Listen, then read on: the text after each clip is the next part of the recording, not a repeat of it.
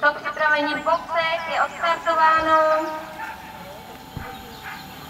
Do vedení se dostává dečka číslo 2, následovaná dečkou číslo 3, dečkou číslo 1 a dečkou číslo 4. Zatáčka nám zamítala pořadí. Do vedení dečka číslo 1, následovaná dečkou číslo 2, 3 a 4. Dečka číslo 1 zvyšuje svůj náskok, ale pořadí zůstává nezměněno. 1, 2, 3, 4. Počkáme si na poslední zatáčku. Rovinka.